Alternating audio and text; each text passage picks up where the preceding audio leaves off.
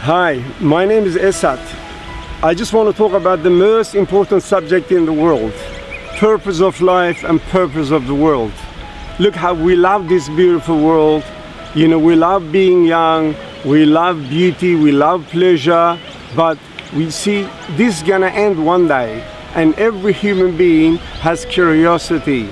So this is built inside us, in our nature, to ask questions, to be hungry for knowledge, for wisdom. So that's why we need to ask this question. Is there something more than this for this life? Or is there nothing? So that's what we gotta ask questions and look for answers. Now I'm gonna tell you very amazing, very beautiful, convincing evidence. Just give yourself about a few minutes and you will understand how very beautiful information that I'm going to give you. That I was an atheist myself. Now I want you to please put aside all your ideas that you had before. I just want you to see it objectively today, not subjectively. Forget about all other faiths, put them on the side, and I want you to just approach the beauty of these ideas the, and the, you know, the word that I'm going to utter, please. And you got nothing to lose. I believe the world is an exhibition place. It is a beautiful art gallery of God. And He made the sun like a lamp so we can watch this colorful show presented for us. Every spring and summer, every autumn and winter, every day and night, it's a different show. You know, that's why God created very beautiful seasons.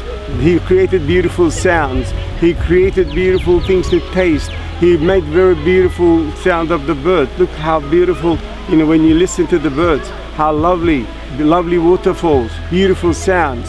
So God says he was hidden treasure, he wanted to be discovered. So he created the world like an art gallery to look at it himself. And because of his wisdom and generosity, he wanted to share it with us. So he gave us all these senses and devices to judge his values, to get to know his beautiful qualities.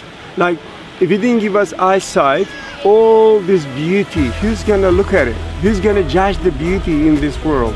Imagine all these colors, all these patterns, all this beauty. It's like, you know, when you go to the art gallery, you see all these beautiful art, very co lovely colors, beautiful patterns. Now, why did the artist make all those arts?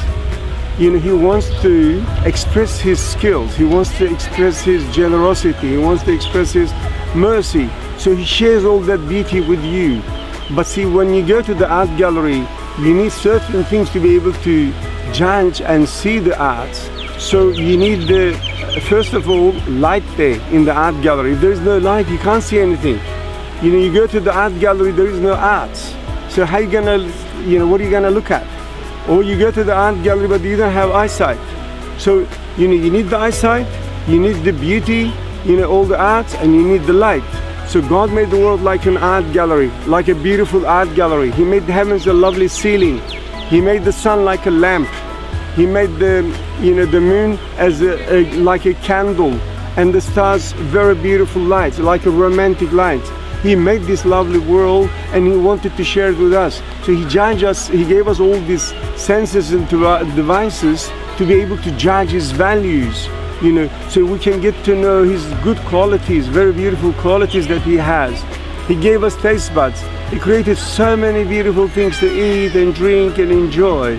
So we can say, mm, God, you made this mango very beautiful. You know, you drink a beautiful drink, you say, thank you, God, for this lovely water and the lovely drinks. You know, he gives you hearing, you listen to beautiful sound of the birds and the rain and the waterfalls. Say, thank you, God, you made very beautiful sounds. You know, he gave you a smelling ability and he created millions of different fragrance and scents so you can smell.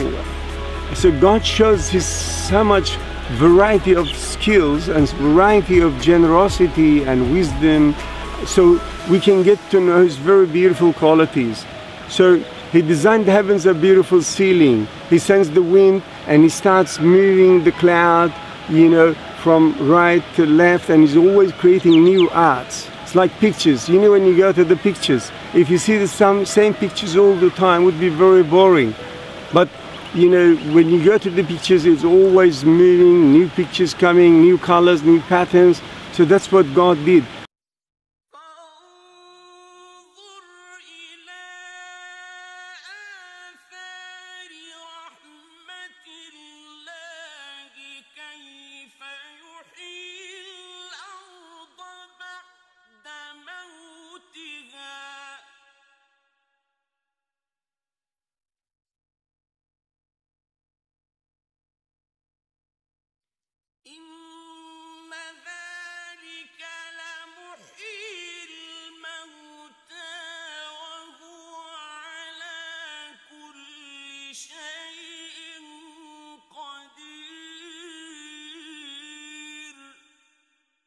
So look at the traces of God's mercy, how He gives life to the earth after its death.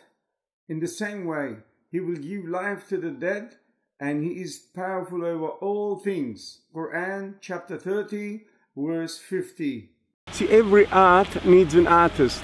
Even a small needle needs a maker. Small letter needs an author. Small village needs a headman. So this universe running in order, it has to have a ruler because the order does not happen by accident. You need a lot of planning. You know, imagine if the sun comes any closer, what will happen to the earth? We'll all die. Any further, you know, it'll freezes us and we'll all die. If the earth goes out of its orbit a little bit, what will happen? We'll all die. If it, you know, spins faster or slower, we all die. So if the moon, imagine 380,000 kilometers away, if it comes any closer, what will happen? We'll all die. If it goes any further, it will flood the world and we all die. So, but see how God, you know, made an amazing order in the universe. And he says that for those people who appreciate and who believe in him strongly by studying the books that he has sent and believing the prophets that he has sent that he, know, as teachers.